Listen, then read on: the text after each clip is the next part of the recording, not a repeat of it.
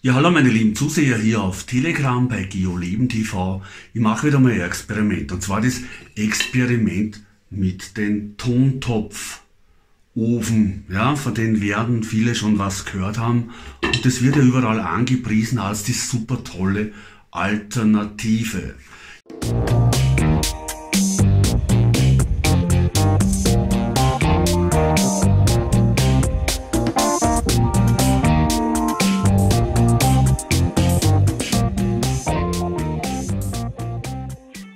Ja, ich probiere die Dinge immer selber gern aus, bevor ich etwas glaube und dann auch als gut befinde und das Ganze eben dann auch weitergebe, weil es bringt mir ja nichts, wenn das Ganze dann wirklich nicht das hält, was es verspricht. Das heißt, äh, wenn ich jetzt zum Beispiel einen Raum habe, ich bin jetzt eh bei mir im Bad herin, da ist der Raum nicht so riesengroß, ja.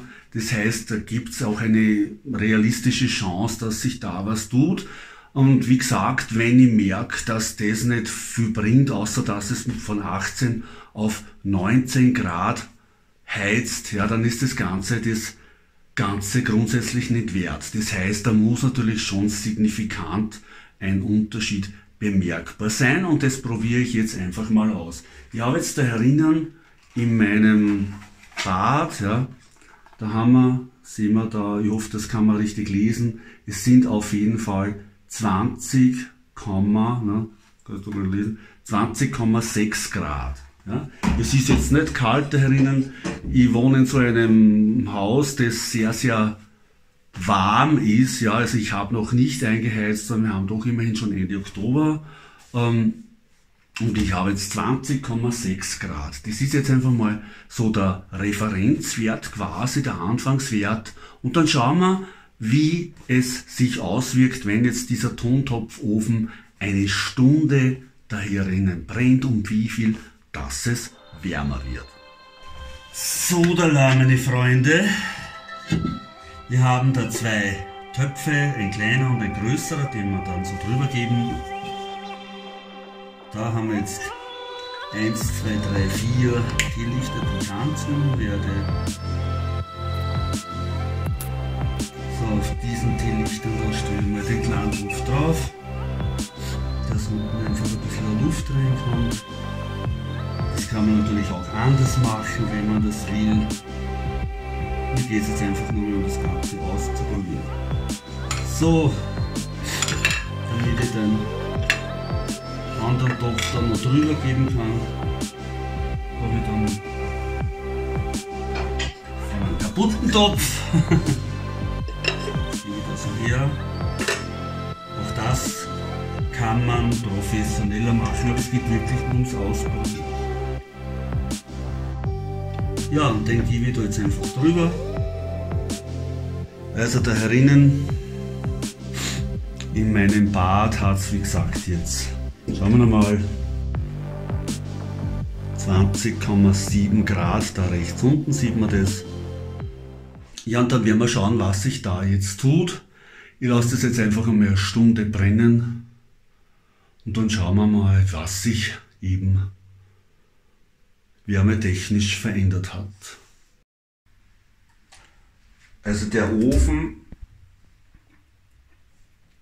da sieht man, das geht noch, das Feuer ist noch an, also die Kerzen brennen nun und der ist auch heiß, ja, der ist heiß. Man kann ihn anklangen so ein bisschen, aber nicht lang. Ja, der ist wirklich heiß. Das ist überhaupt nicht das Problem. Das wird alles wunderbar heiß. Die Frage ist, wie weit strahlt es ab? Ja, und wir sehen, wir haben 21,1 Grad. 21,1 Grad, zuvor haben wir gehabt 20,6. Das ist jetzt eine Erwärmung da herinnen um 0,5 Grad. Hm. Ja, meine Lieben, das ist jetzt nicht sehr zufriedenstellend für das, dass es ja auch ein bisschen riecht, ja, das gaselt ja auch. Ja, also das ist ja auch nicht so wirklich super, super gesund, glaube ich. Also da müsste man totale Naturkerzen nehmen wahrscheinlich, ja.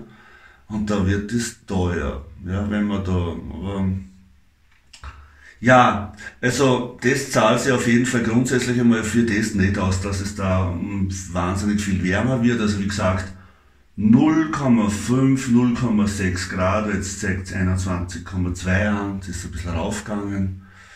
Ähm, es ist warm, wie gesagt, wenn man da so die Hand hingibt, da blast es oben beim, bei diesem Loch schön warm raus. Ja. Also das kann man hernehmen, wenn man vielleicht einmal irgendwas trocknen möchte, Handschuhe. Ich habe sie schon mal hergenommen, ähm, wie ich mit dem Auto im Winter unterwegs war, also mit meinem Reisecar und da war es wirklich kalt, da hat es um, unter 0 Grad gehabt, minus 2, 3 Grad, ja. Und im Auto, da hat es so einen Unterschied ausgemacht von, sagen wir mal, 4, 5 Grad, ja. Da herinnen 0,6 Grad Erwärmung im, in einem Bad, das ungefähr, ja, zweimal, zweieinhalb mal zweieinhalb, also gute 5 Quadratmeter Fläche hat. Ja. Ähm, das ist ja jetzt kein riesengroßer Raum in dem Sinne. Also man kann was wärmen, beziehungsweise mal so die Hände hinhalten. Also wenn man so davor sitzt, sich ein bisschen aufwärmt, bevor man schon erfriert, ja, für das macht sicher Sinn. Jetzt ist sogar auf 21,3 Grad raufgegangen, sehr spannend. Macht's das aus, weil jetzt ich da herinnen bin? Keine Ahnung.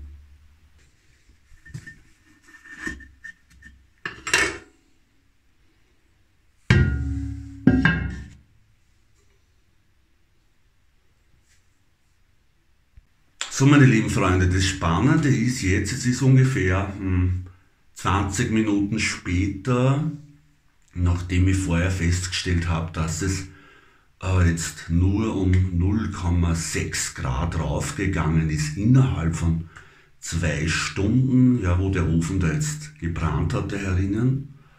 Ähm, da habe ich ja zum Schluss jetzt den Ober, also den größeren Ofen runtergegeben.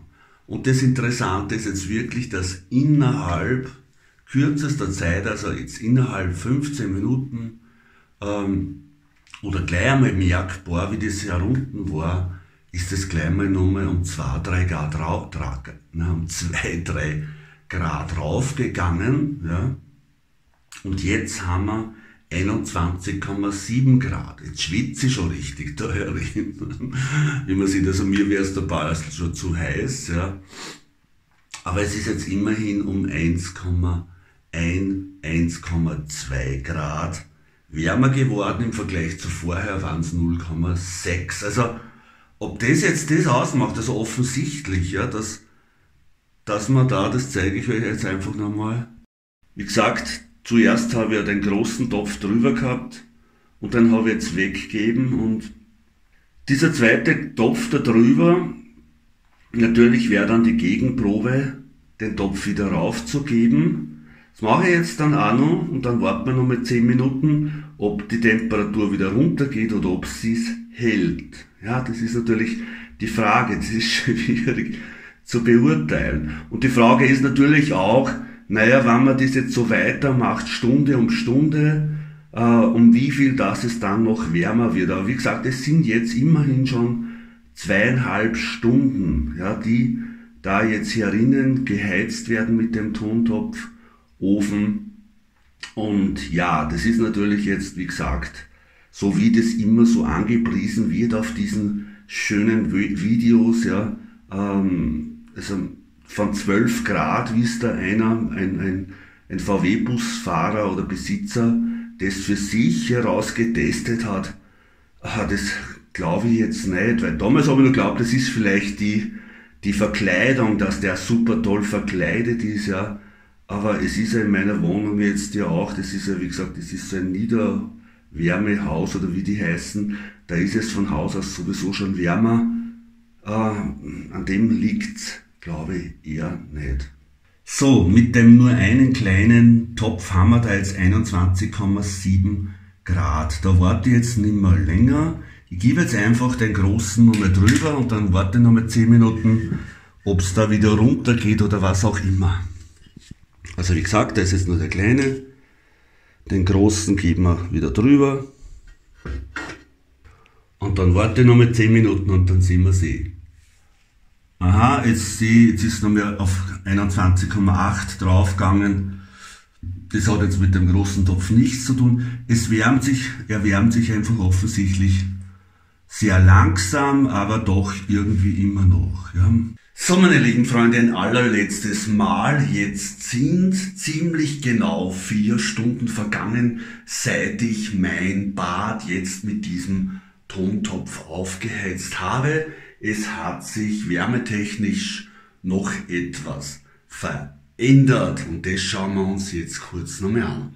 Ja, wir haben jetzt 22,3 Grad nach vier Stunden eine äh, Erwärmung von, wie haben wir gehabt am Anfang, 20,6 von 1,7 Grad. Ja? 1,7 Grad in vier Stunden. Naja, das ist jetzt nicht unbedingt die große Welt. Knappe 2 Grad Erwärmung. Ja? Knappe 2 Grad innerhalb von vier Stunden. Aber immerhin, man, ich muss sagen, äh, es hat sich, es ist von 20 Grad, äh, 20,5 Grad jetzt auf 22,3, 22,4. Es ist zumindest äh, wärmer, es ist angenehmer. Ja? Also es kann auf jeden Fall, das ist auch so mein Empfinden, ähm, das Ganze psychisch ein bisschen angenehmer machen, dass man weiß, wow, da geht's warm her, ja, es, es geht ja auch eine Wärme weg von dem Ding, wenn man in der Nähe ist, das ist ja angenehm, ja.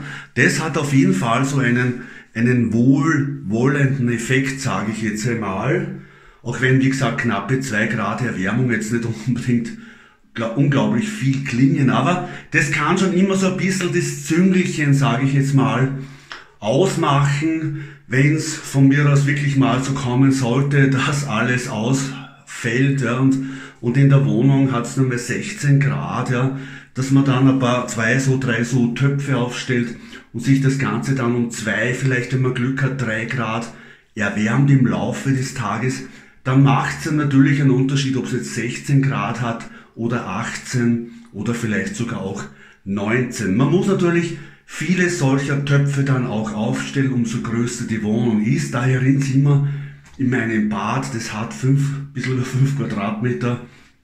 Das ist natürlich wieder ganz was anderes. Also es hat so ein bisschen, man hat schon das Gefühl, man tut was, es wird wärmer. Wie gesagt, wenn man dort ist, direkt am Ofen, da geht ja auch, strahlt ja auch Wärme ab. Ähm, aber es ist nicht so, dass sich ein Raum jetzt wirklich tatsächlich, sage ich jetzt mal, von, von 16, 17, 18 Grad dann auf 23, 24, 25 erwärmt. Das ist es nicht, außer man stellt jetzt in dem Falle da herinnen. Wäre natürlich auch alles nochmal auszuprobieren. Den zweiten Topf dazu gibt dann noch mal die Lichter. Das ist schon klar, das wird dann natürlich auch seinen Sinn haben. Also ausprobieren kann man es auf jeden Fall, aber wie gesagt, das mit den Lichtern, das, das ist also ein bisschen das Gas und wie gesagt, so ein bisschen komisch, also so ganz so gesund kommt man das auch nicht vor. Das ist mir damals im Auto, wie ich es ausprobiert habe, ich habe dann auch im Auto geschlafen mit der Heizung, äh, schon ein bisschen aufgefallen, das ist nicht ganz so angenehm. Ja? Da muss man natürlich wieder in super gute Kerzen investieren und dann ist das Ganze auch nicht mehr ganz so billig. Ja, äh, so Teelichter, also die ersten zwei sind jetzt abgebrannt, aber die gehen doch immerhin gute drei Stunden. Ja, drei Stunden, äh, vielleicht sogar ein bisschen mehr. Ja, dass bis so ein Teelicht abgebrannt ist. Ja, also ja, probiert es einfach selber aus. Wie gesagt, der große Ausreißer ist es nicht, aber es kann schon so kleine Wohlgefühle, so, so kleine Wärmenischen, sage ich jetzt mal, auf jeden Fall bringen. Aber umso größer die Wohnung, umso mehr Töpfe braucht man einfach. In dem Sinne, alles Liebe.